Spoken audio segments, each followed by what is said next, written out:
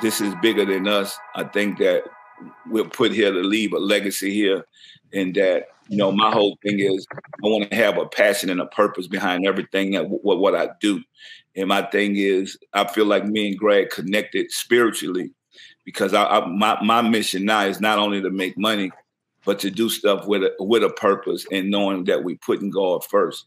So uh, I I love the whole concept, and I know that with everybody using their expertise, uh, this brand could be even bigger than we can imagine. So I'm I'm glad to be on board.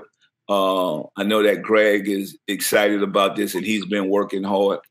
But I, I know that we do have something. So I just want to let you guys know that everybody on here makes a difference, and this is going to be a team family effort to where uh, we know if we use our expertise and, and and and we passionate about this that we will win. So thank you guys for being a part of this.